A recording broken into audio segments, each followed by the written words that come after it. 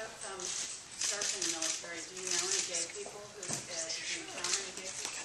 Do you think, that you- what about the concern that Senator Collins raised that some of these folks have been let go unjustifiably? I mean, do you think if, if it- it's revealed that they're gay, they should be dismissed? That's the law. The Do you think that's right? the- Yeah, the, the policy that we have in the United States Air Force is, go read the regulations. People in the Air Force are not breaking into rooms finding out if you're gay. That's not going on on a military basis.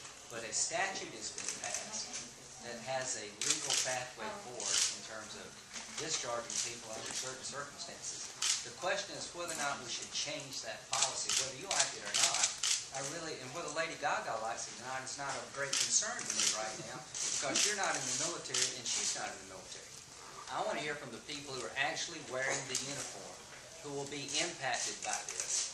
And social justice and social experimentation are two things that we always want to strive for. But we're in the middle of two wars. There's a lot going on with military families now. They're under a lot of stress. People have been deployed multiple times.